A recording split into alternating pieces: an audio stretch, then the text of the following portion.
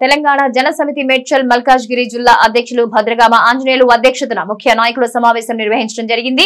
ఈ కార్యక్రమానికి ముఖ్య అతిథిగా తెలంగాణ జనసమితి పార్టీ వ్యవస్థాపకుడు ప్రొఫెసర్ కోదన్ పాల్గొన్నారు. అనంతరం కోదండరాం మాట్లాడుతూ కేసీఆర్ నిరంకుశ పాలనను నిరంకుశ పాలనకు కేర్ ఆఫ్ అడ్రస్గా కేసీఆర్ మారాడు. దొరికిన కాడికి దోచుకుంటూ ప్రభుత్వ అధికారిని ప్రభుత్వ అధికారులను అనుకూలంగా మలుచుకుంటూ తెలంగాణ ప్రజలందరినీ మోసం చేస్తూ సంపాదనే ధ్యేయంగా బ్రతుకుతున్న కేసీఆర్ను గద్దె దించడమే ముఖ్య లక్ష్యంగా కాంగ్రెస్తో కలిసి పనిచేస్తామని ప్రొఫెసర్ కోదండరాం మీడియా సమావేశంలో అన్నారు. ఈ కార్యక్రమంలో ఐదు నియోజకవర్గాల నాయకులు పాల్గొనడం జరిగింది.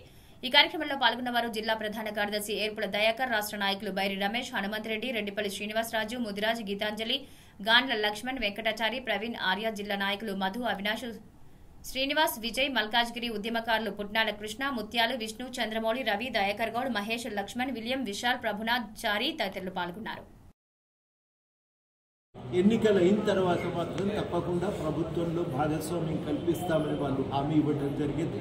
అట్లాంటి భాగస్వామ్యం ఏదైనా ఇలా తెలంగాణ గెలవటం కోసం మా యొక్క ప్రత్యేకమైన రాజకీయ ప్రయోజనాలు కూడా మేము వదులుకొని మద్దతును ప్రకటించగలిగే పాలనలో.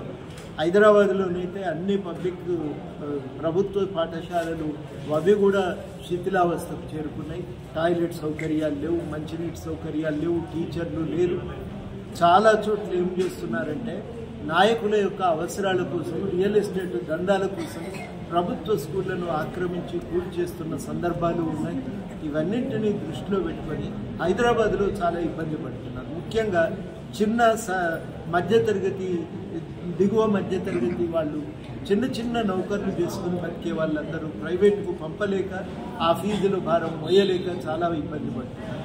ఒక మంచి కేంద్రీయ విద్యాలయ స్థాయి స్కూళ్ళను ఒక ఇరవై కనుక హైదరాబాద్లో నెలకొల్పగలిగితే ప్రతి ఒక్క తల్లిదండ్రులు కూడా ఇవాళ ఈ ఫీజుల పోత నుంచి విముక్తి పొంది కొంత పిల్లలకు మంచి విద్యను అందించడానికి కూడా అవకాశం కలుగుతుంది. ఆ విషయంపైనే మరి ప్రభుత్వము పైన ఒత్తిడి పెట్టడానికి మనం ఈ డిమాండ్లను సాధించుకోవటం కోసమే మనం ఈసారి కాంగ్రెస్కు మద్దతు ఇద్దామని. ఎందుకంటే మేము కూడా అడిగినాం అందరికీ ఉచితమైన నాణ్యమైన విద్య కానీ వైద్యం కానీ ప్రభుత్వమే బాధ్యత తీసుకోవాలని దానికి కాంగ్రెస్ పార్టీ సుముఖంగా ఉంది. ఈ ప్రభుత్వమేమో బడ్జెట్ను ఈ ఎనిమిది శాతం నుంచి ఏడు ఐదు ఐదు శాతానికి తగ్గించింది. బడ్జెట్ను పదమూడు శాతానికి పెంచగలిగితే ఈ డిమాండ్లను పరిపూర్తి చేయవచ్చునని మేము ప్రతిపాదన పెట్టిండ్రు. చాలామంది విద్యావేత్తలు కాంగ్రెస్ పార్టీ ముందు పెట్టిన ప్రతిపాదనలను వాళ్ళు ఒప్పుకున్నారు. కాబట్టి ఈ డిమాండ్ల సాధన కోసం తప్పనిసరిగా మద్దతునివ్వాలని అందరికీ కూడా ఇవాళ హెల్త్ కార్డు అవసరం దానికోసం కానీ. అది కేవలము తర్వాత విపరీతమైన ఈ ట్రాఫిక్ చాలన్ల పేరుతో వేధింపు వచ్చే అరాకురా పైసలను కూడా అది చిల్లర దొంగలు జేబు కొట్టేసినట్టుగా కొట్టేస్తున్నది ప్రభుత్వం. అట్లాంటి వాటి నుంచి కూడా ఒక ఈ ధరల పెరుగుదల నియంత్రణలోకి తేవటానికి ఇవాళ ఒక మార్పు అయితే అవసరం ఆ మార్పు కోసమే ఇవాళ కాంగ్రెస్కు ఓటేయాలని మేము అభ్యర్థిస్తాం మాకు ఒక ఎజెండా మేము ప్రతిపాదించిన వాళ్ళు ఒప్పుకున్నారు ఆ ఒప్పుకున్న మీదటనే మేము. అంటే రాజకీయ పార్టీలు దానికి తువ్వన్న ఉంటుంది. ఇప్పుడు ఇప్పుడున్న గవర్నమెంట్ దగ్గర అడగటానికి కూడా తువ్వలేదు కదా ప్రగతి భవన్ పాఠకులు అందరికీ బంద్ కదా అది ఎవరో అలీబాబా మాదిరిగా ఓపెన్స్ చేయమంటే తెలుసుకోవడానికి కాంట్రాక్టర్ల దగ్గరనే మంత్రం ఉంది తప్ప వేరెవరికైతే దగ్గరికి పోయే అవకాశం కూడా లేదు మేము కనీసం ప్రగతి భవన్ దాకా పోయి ఒక వినతి పత్రం ఇద్దామని బయలుదేరితే కూడా ఆ ప్రగతి భవన్ దగ్గరికి పోయినందుకు మా మీద కేసు పెట్టిండ్రు. ఇప్పుడు నేను నాంపల్లి కోర్టు చుట్టూ తిరుగుతా ఉన్నా కేసు ఇరికినందుకు. మన పరిస్థితి అట్లా ఎందుకు ఉండాలి? కనీసం అడగటానికి తువన్నా మిగులుతుంది కదా. అది మా ఆశ. కాంగ్రెస్ పార్టీ. దానికి ఒక జాతీయ నాయకత్వం. ఆ నాయకులతో కూడా మేము కరీంనగర్ వెళ్ళినప్పుడు మాట్లాడాం మీ ఆలోచన ఉండాలి వారు మాతో ఏమన్నారంటే నిరంకుశత్వం పోవాలనేది నూటికి వాళ్ళు అది అంగీకరిస్తున్నారు కానీ మీరు ఒక అడుగు ముందుకు పోయి ఇంకో మాట కూడా అన్నాడు ఆయన. అన్నదే ఈ నిరంకుశత్వానికి మూల పునాది సామాజిక ఆర్థిక సమానతంలో ఉంది. ఆ అసమానతలను కూడా తొలగించడానికి పూనుకోవాలి. అక్కడ మీకు పాత్ర అనేది చాలా కీలకంగా ఉంటుంది. అని ఒక హామీ ఇచ్చిన నేపథ్యంలో మేము ఈ రకంగా గుర్తుపెట్టుకోవడం జరిగింది. మేము ఒక్కలం ఏం చేసినామంటే ఎజెండా మీద నిరుద్యోగ సమస్యను నిలపగలిగిన అవినీతి కేసీఆర్ కాళేశ్వరం ప్రాజెక్టులో చేసిన తప్పిదాలను ఎజెండా మీద నిలపగలిగిన ప్రభుత్వం అవినీతి చర్యలను ఎండగట్టగలిగిన ఇవాళ విద్యా వైద్యము ఉచితంగా అందజేయవలసిన అవసరాన్ని కూడా ముందుకు తేగలిగిన వ్యవసాయం బాగు చేయాలని నిర్వాసితులకు న్యాయం జరగాలని ఎన్ని అంశాలను ఎజెండా మీద నిలపగలిగాం.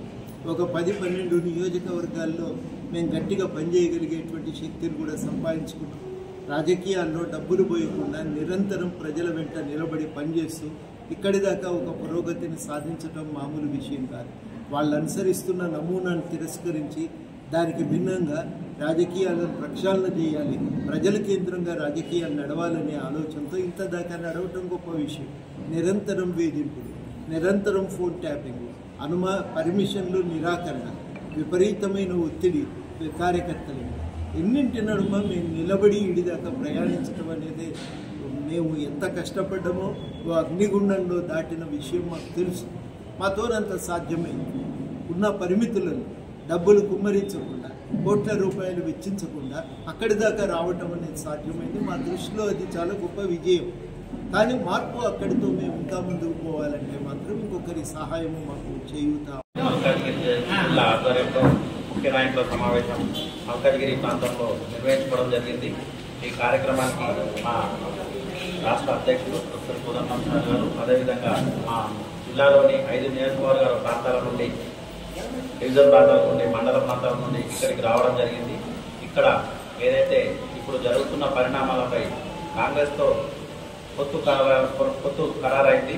దానిపై ఏ విధంగా ముందుకు పోవాలనే దాని మీద ఇప్పటిదాకా చర్చించుకోవడం జరిగింది. అదేవిధంగా ఇక్కడ నెలకొన్న సమస్యలు కానీ ఈ జిల్లాలోని నెలకొన్న సమస్యలపై తప్పకుండా మేము కాంగ్రెస్తో కలిసి పొత్తులో భాగంగా టీఆర్ఎస్ గద్దెదించే విధంగా ప్రయత్నం పనిచేస్తామని చెప్పి హామీ ఇస్తూ అదేవిధంగా సార్. తెలంగాణ అసెంబ్లీలో అసెంబ్లీకి ఎన్నికలు వచ్చినటువంటి వేళ ప్రచారం ఉధృతంగా సాగుతున్నటువంటి సమయాన మా కార్యకర్తలు కూడా అందరూ ముఖ్య కార్యకర్తలందరూ కలిసి ఈ ఎన్నికల్లో ఇదివరకే రాష్ట్ర స్థాయిలో నిర్ణయించుకున్న విధంగా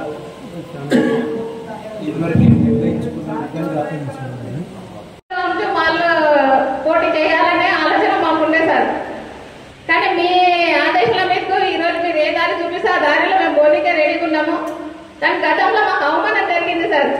మేము ఎంపీ ఎలక్షన్ల టైంలో పోతే వాళ్ళు ఇట్లా లోపల కూర్చొని మమ్మల్ని బయట నిలబడి పోతే కూడా పలకరియకుండా అట్లా అవమానం జరిగింది. మా ఆత్మ సన్మానం చాలా బాధ అయింది సార్. కానీ అసలు అవమానం జరగకుండా మీరు ముందు మాట్లాడాలి. మేము కష్టపడడానికి రెడీగా ఉన్నాము. కష్టపడి తెలంగాణ తెచ్చుకున్నది ఏంటి?